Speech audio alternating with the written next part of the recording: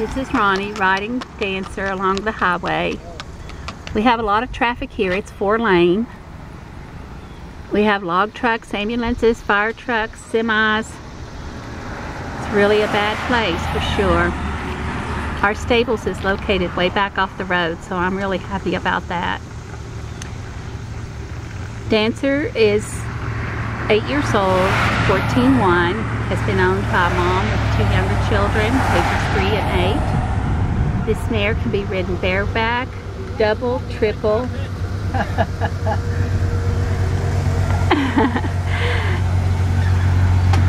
she can be ridden however you want to ride her. You can ride her backwards. She's not afraid of traffic.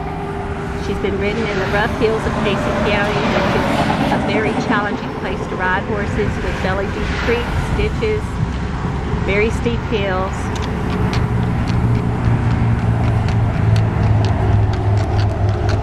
She is a dandy.